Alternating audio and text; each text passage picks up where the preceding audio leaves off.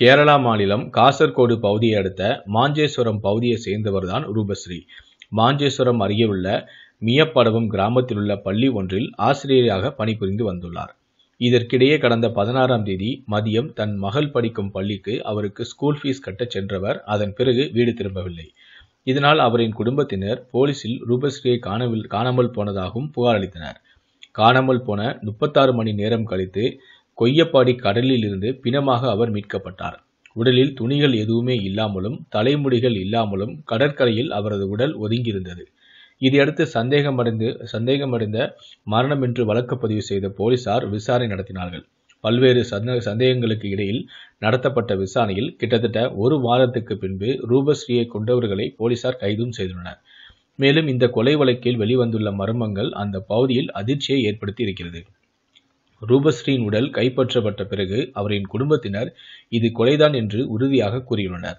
கொலைக்கு காரணமாக வெங்கட்ரமணா என்போரை குறிப்பிட்டுள்ளனர். ரூபஸ்ரீ வேலை செய்து வந்த அதே தனியார் பள்ளியில் ஓவிய ஆசிரியராகவும் வேலை பார்த்து வந்தவர்தான் இந்த வெங்கட்ரமணா அதே போல ரூபஸ்ரீ கடைசியாக அவரின் மகளுக்கு ஃபீஸ் கட்ட பள்ளிக்கு சென்றதால் அவரிடம் விசாரணை நடத்தியுள்ளனர். அதில் ஃபீஸ் கட்டும்போது ரூபஸ்ரீக்கு ஃபோன் வந்தது என்றும் அதன் பிறகு அவரது முகமே மாறிவிட்டது என்றும் பின்னர் ஒருவித பயத்துடன் மீண்டும் வந்துவிடுகிறேன் என்று கூறிவிட்டு சென்றதாக அவர் மக்கள் கூற அவருடைய மகள் கூற போலீசுக்கு மேலும் சந்தேகத்தை வலித்தது. உடனடியாக ரூபஸ்ரீ வேலை செய்து வந்த தனியார் பள்ளிக்கு சென்ற போலீசார் அங்கு உள்ளவர்களிடம் விசாரணை நடத்தியுள்ளனர். ஆசிரியர் வெங்கட்ரமணிடமும் விசாரணை நடத்தியுள்ளனர். ஆனால் விசாரணைக்கு பின் அவரை விட்டுவிட்டனர்.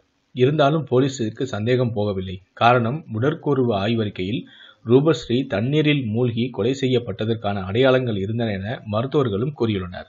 இதற்கிடையில் தான் ரூபஸ்ரீ காணாமல் போன பிறகு அவரிடம் இருந்த ஹேண்ட்பேக்கு ஹேண்ட்பேக்கும் மொபைல் போனும் கிடைக்கவில்லை. மேலும் அவரது ஸ்கூட்டரும் காணவில்லை. இதை பற்றிய தகவல் வரும்போது ரூபஸ்ரீ கடைசியாக ஒருவிடம் பயத்துடன் போனில் பேசியதாக அவரின் மகள் கூறியது தெரியவர இது தொடர்பாக விசாரிக்கவும் தொடங்கியுள்ளது கேரளா கிரைம் பிரான்ச் போலீசார். கடைசியாக அவரது போன் எந்த டவர் லொக்கேஷனிலிருந்து அவரிடம் பேசியது யார் என்ற விவரங்களையும் சேகரித்துள்ளனர்.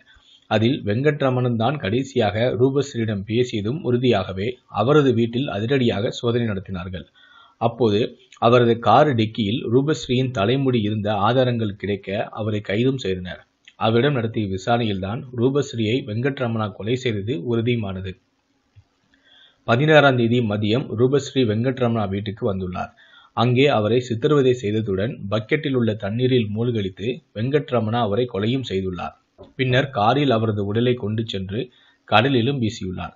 இதற்கு அவரது கார் டிரைவரும் உதவியுள்ளார். இது தொடர்பாக கேரளா கிரைம் பிரான்ச் போலீசார் பேசுகையில் ரூபஸ்ரீ பணிக்கு சேர்ந்த அதே வருடம்தான் வெங்கட்ரமணாவும் இங்கு பணிக்கு சேர்ந்துள்ளார். இருவருமே நட்பாக பழக ஆரம்பித்துள்ளனர். பின்னர் இவர்களின் பழக்கம் நெருக்கமாகி உள்ளது. ஒரே பள்ளி என்பதால் பணம் கூட கொடுக்கல் வாங்கலில் இவர்களிடையே இருந்துள்ளது. சமீபத்தில் லோன் எடுத்தது தொடர்பாக இருவருக்கும் பிரச்சனையும் இருந்துள்ளது இது தொடர்பாக வெங்கட்ரமணா ரூபஸ்ரீயை அடிக்கடி தொந்தரவும் செய்து வந்துள்ளார். அவரின் தொந்தரவு தாங்காமல் தான் இவருக்கும் இடையே உள்ள பழக்கத்தை ரூபஸ்ரீ வீட்டிலும் சொல்லியுள்ளார். அவரது உயிருக்கு ஏதும் நேர்ந்தாலும் அதற்கு காரணம் வெங்கட்ரமணன் தான் என ஏற்கனவே கூறியுள்ளார். அதை அவர் காணாமல் போனதை அவரது குடும்பத்தினர் எங்களிடம் தெரிவித்தனர்.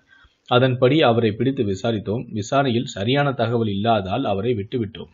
ஆனால் இந்த வழக்கில் எங்களுக்கு கை கொடுத்தது ரூபஸ்ரீ தலைமுடிதான். தலைமுடி அவரது காரில் இருந்ததை கண்டுபிடித்தோம். பரிசோதித்த போது அது ரூபஸ்ரீயை உடையது என்பதும் உறுதியானது. ஏற்கனவே அவரை விசாரித்த போது எங்களுக்கு சந்தேகமும் இருந்தது. ஆனால் போதிய ஆதாரங்கள் இல்லாததால் அவரை கைது செய்ய முடியவில்லை. இப்போது சரியான ஆதாரங்கள் கிடைத்ததால் அவரையும் அவருக்கு உதவிய கார் டிரைவரையும் கைது செய்துள்ளோம் என கூறியுள்ளனர் இந்த சம்பவமானது அந்த பகுதியில் பெரும் பரபரப்பையும் ஏற்படுத்தியுள்ளது.